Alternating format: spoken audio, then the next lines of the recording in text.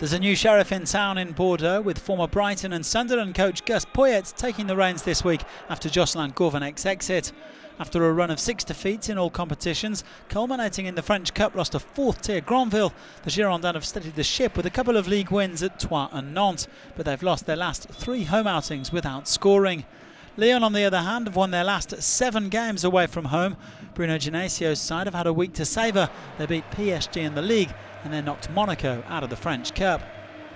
Well, they were looking to shore up second place here, but it was Bordeaux who took the lead after a rapid counter-attack in the 22nd minute. The ball coming out here and picked up by Gaetan Laborde, sweeping it wide for Malcom.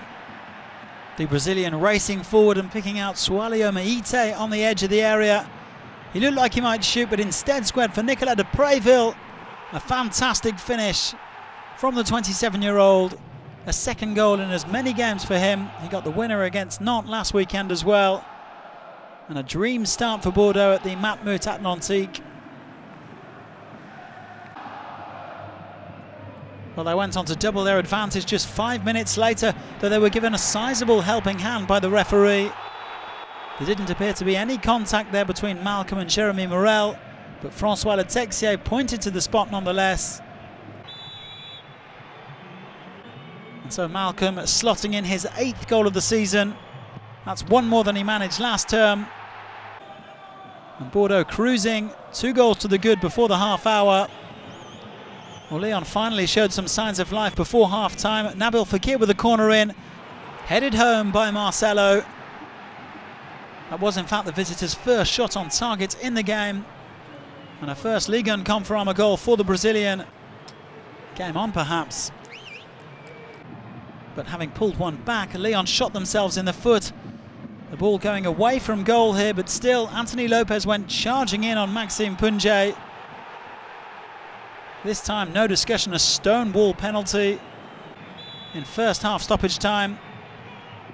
A different taker, but the same result.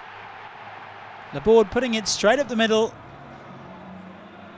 And so 3-1 to Bordeaux at half time, almost perfect from the hosts. Getting off to a great start under Poyet. But it's not his first time in France. He had a brief but unsuccessful stint with Grenoble in the late 1980s. This is the fifth country in which he has coached, the Uruguayan. Now Lyon pushing for a second goal. Fekir brought down on the edge of the area. And Brazilian midfielder Otavio shown a second yellow card for his troubles. The first foul was also on Fekir.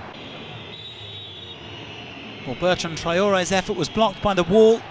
And Benoit Costil was then equal to the effort from Memphis Depay on the follow-up.